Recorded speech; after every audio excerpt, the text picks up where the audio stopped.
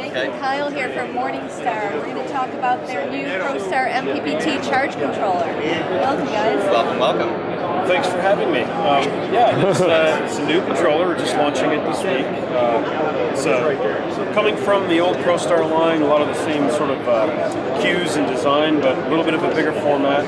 This particular version, we just got powered up from a power supply to show the, the new meter display. Um, it's a much more uh, visible meter, a lot of more options. You can set and actually uh, change settings on the meter, which is the first for the controller.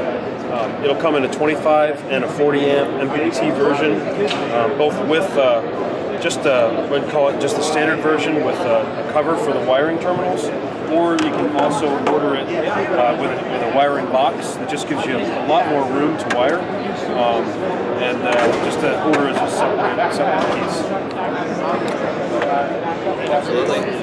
Not Both where- models are going to be uh, 12, 24 volt auto sets, um, so they'll work on either configuration. Um, and again, uh, we have programmable lighting control features, uh, Ethernet connectivity. Uh, Ethernet connectivity via a uh, adapter that will just uh, tie into this RJ11 port.